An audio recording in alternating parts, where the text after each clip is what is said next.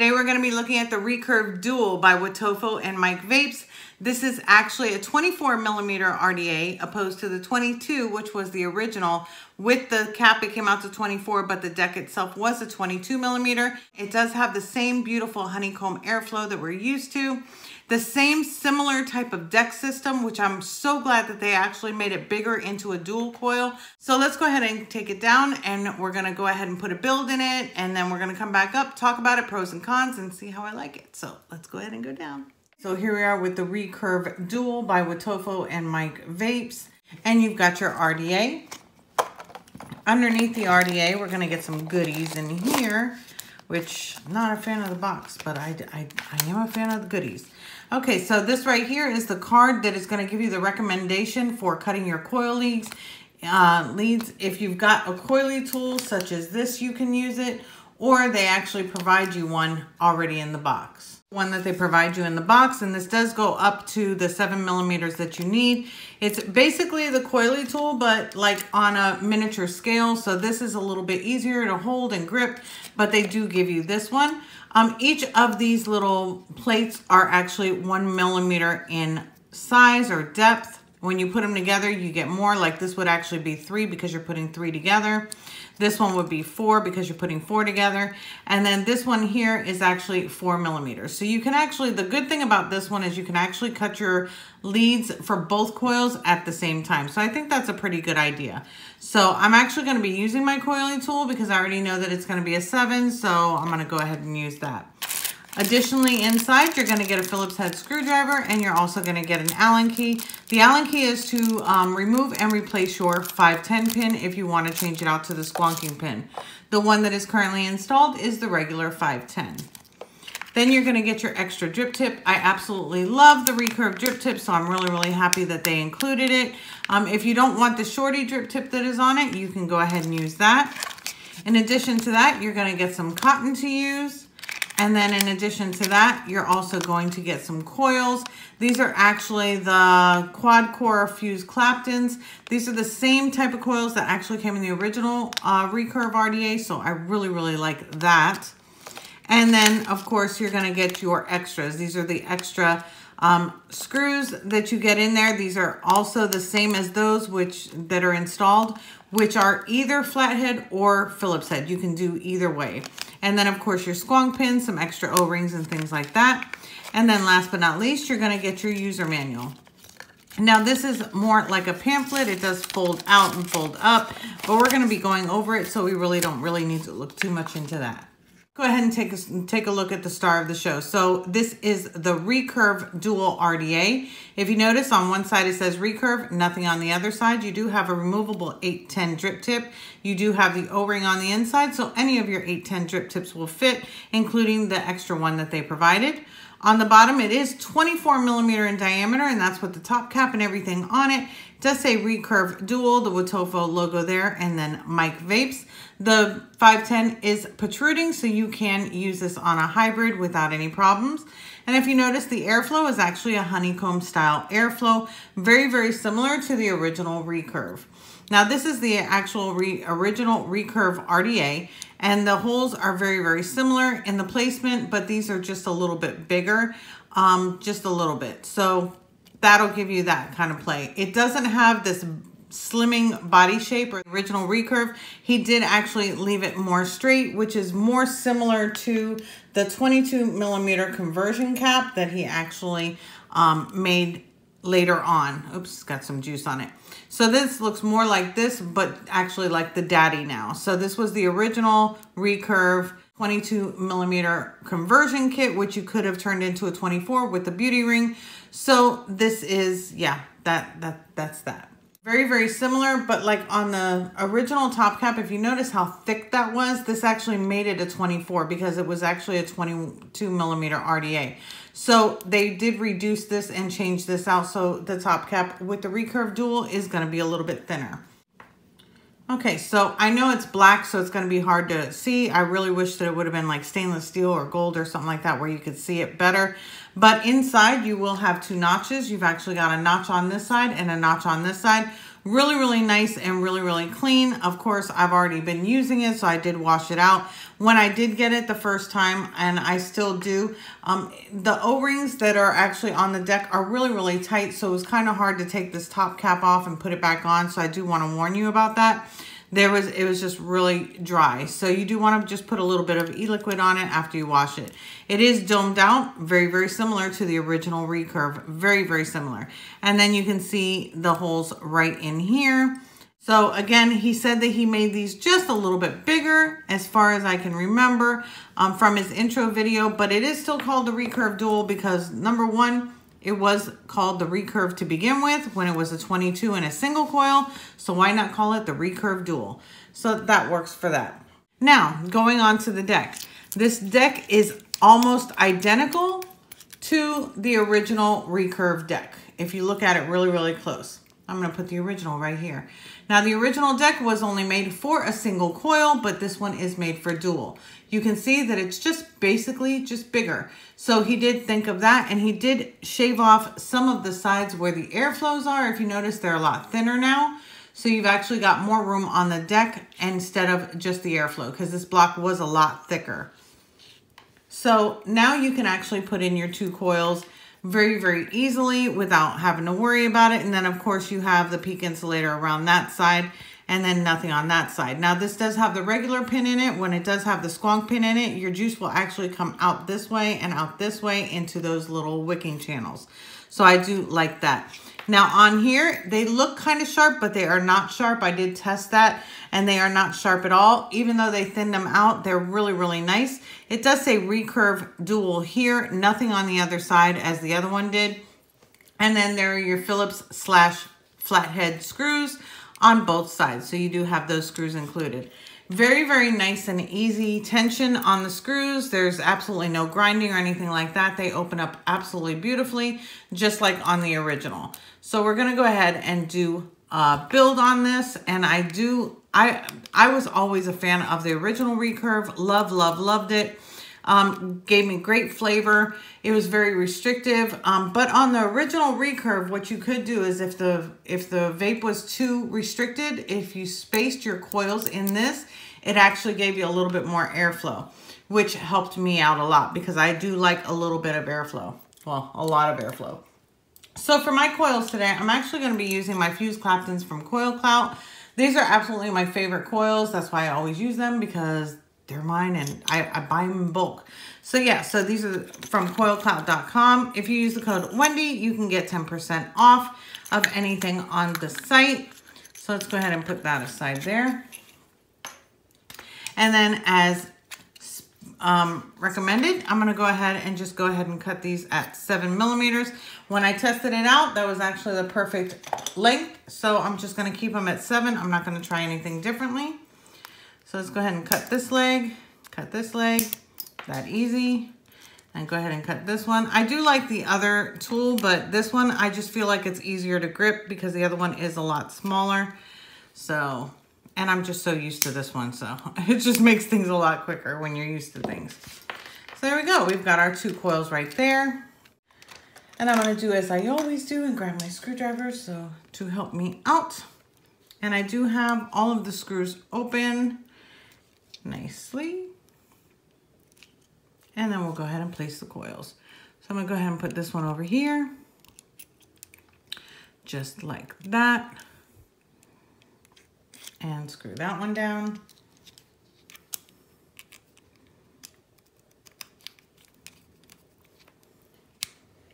And unscrew this one down. Really, really easy.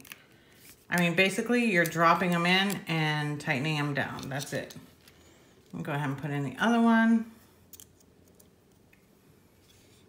I'll turn around so you can see it. Right there and right there. Always make sure that you get them in the holes. You know how many times that I've had to redo builds because I didn't get it all the way in the hole. it was outside of the hole. So there we go. There's one and then there's two. So we've got those in. So now we can go ahead and start adjusting our coils. Just gonna make sure these are nice and tight.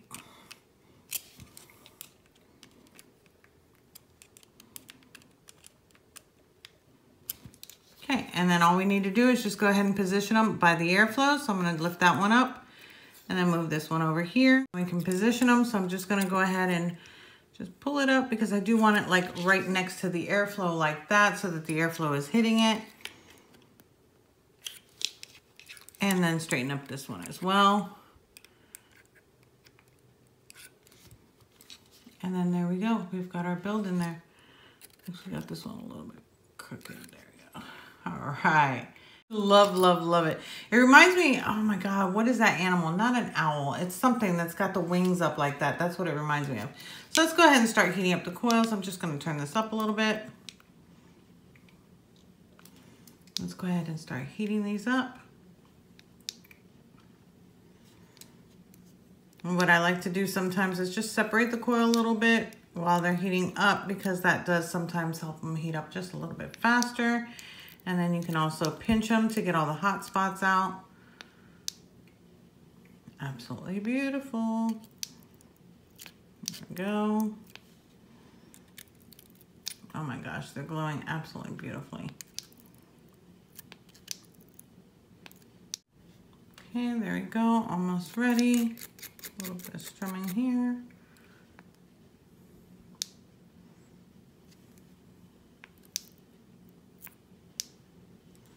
Okay, we've got them glowing evenly. I'm gonna go ahead and let them cool down and then we'll wick that right up. For today's cotton, I'm gonna be using my Kendo Vape Cotton Gold Edition. This is my favorite cotton and I've just gone ahead and grabbed a piece.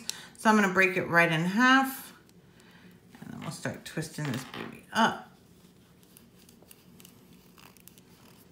Okay, and then all we gotta do is just put this in here and pull it through. There we go. Now you don't want it too loose inside. Whenever people have like a lot of spit back, it's usually because your cotton is too loose within the coil. So you do want to make sure that it's snug, but it's not too tight where it's moving your coil. There we go. All right, so we've got those all up there. What I'm gonna do is just go ahead and start combing it out. I always comb out my cotton. For the most part, about 95% of the time, I'm combing out my cotton. So there we go. I like to thin it out, especially towards the end, because with the capillary action, it just helps the juice to get up to your coil a little bit better, in my opinion. Of course, my opinion. Now I'm just gonna go ahead and cut some cotton here. And cut, cut some right here. And then all we need to do is just put it right there. Now I actually am gonna be using this as a dripper, not as a squonker. That's just my prerogative. I've already tried it squonking and dripping. I just like it. I love dual coils uh, dripping rather than squonking personally, but that's just me. So that's it. That That's the beautiful set that it is. So let me go ahead and get some e-liquid and we'll go ahead and start juicing this puppy right up. For today's juice, I'm actually going to be using my Royal Mojito. This is a watermelon mojito with just a touch of lime at the end. One of my favorites. And this is, um, my link is down below. You can go to queen-ejuice.com. And yeah, so there we go. Just go ahead and start heating them up. I always like to do this and prime it up first because that way you know that the cotton within the coil has been heated up or juiced up the cotton within the coil is nice and juiced up so that you don't have any dry hits or anything like that. So that's always why I do this. go. Oh yeah, baby, dual coil. I was really hoping that this would come in a dual coil one day. and here we are. There we go, nice and juiced up. So we got that all heated up. Let's go ahead and put this top cap on. Again, it does have the lock in place, but it's got the same type of lock as the original recurve. So you can put it on. And then if you're cutting down your, your um, airflow, you can actually still move it. So it still will move from left to right without it coming off of your mod. See how that works?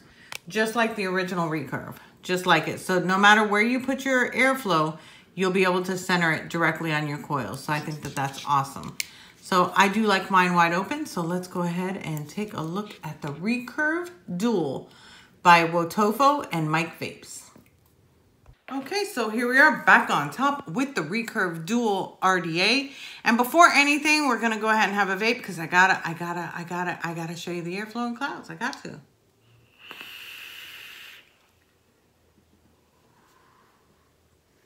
Cloud Chucker, baby.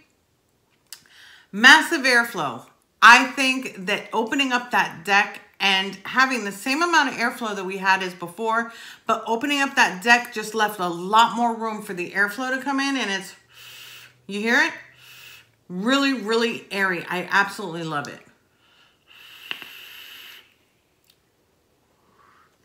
I love really a lot of airflow. That to me is key. Now I'm going to cut it down a little bit so that way we can go ahead and adjust it. Oh, other way. We're gonna take it down by two. So I got it down by two. I would never go down lower than four open, to be honest with you, so.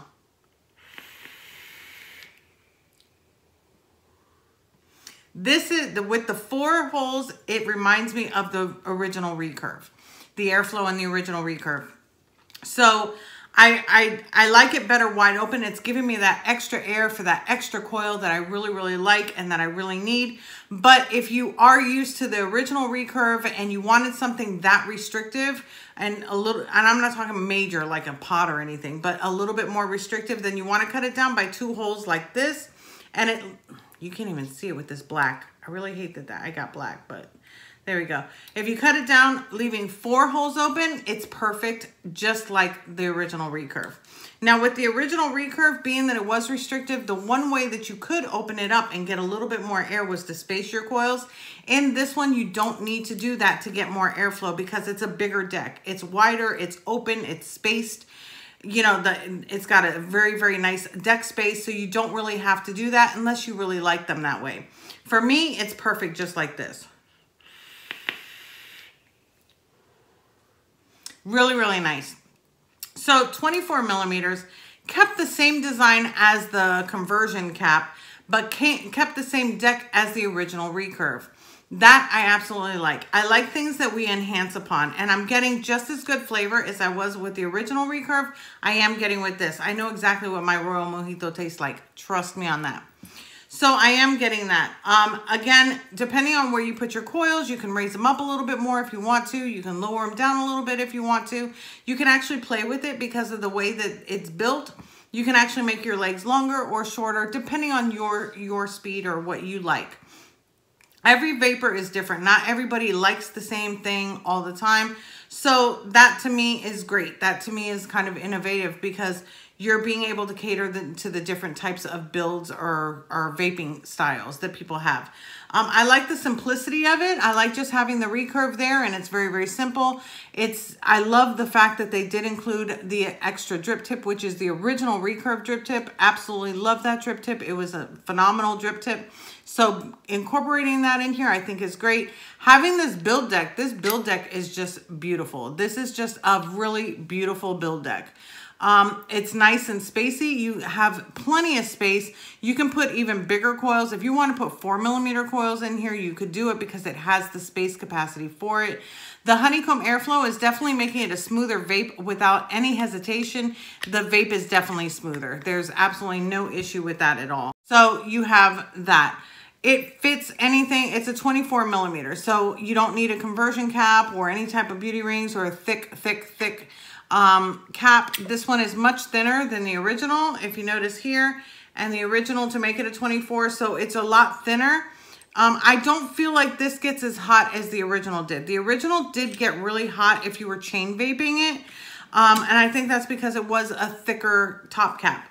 But with this one, I'm not having that problem. Again, a lot more air. Um, the same good flavor. I'm not going to say that one flavor is better than the other because to me, they both have amazing flavor. I love the size of it. He kept it as a shorty and it, it's not too big, too small.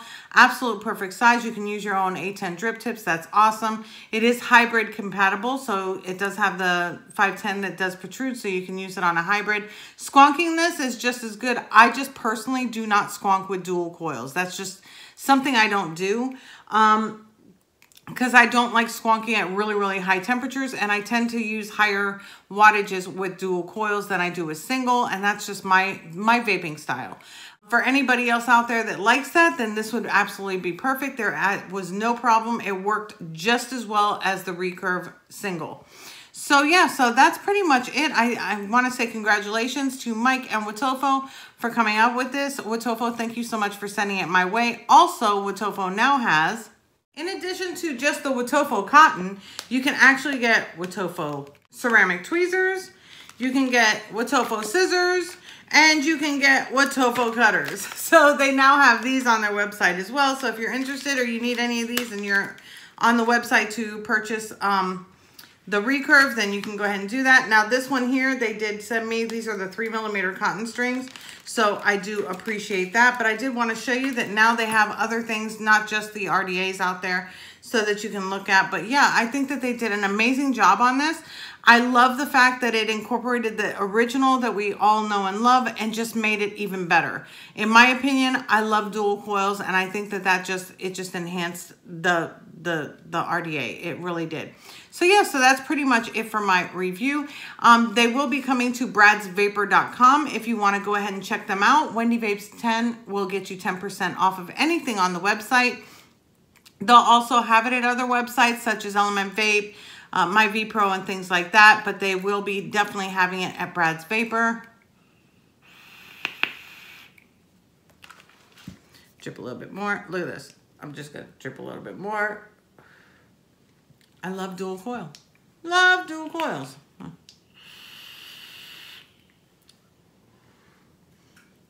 Absolutely amazing airflow. I can't get over the airflow. The airflow is just amazing. I love that it's wide open. It's giving me that feeling that I need um, with more airflow less restrictions. So depending on which way you vape is which one you're gonna like the most. But for me, I think they really hit it out of the park. So um, that's it for my review. And if you like the video, please give it a thumbs up. If you're not already subscribed, go ahead and hit the subscribe button and I'll see you in the next one.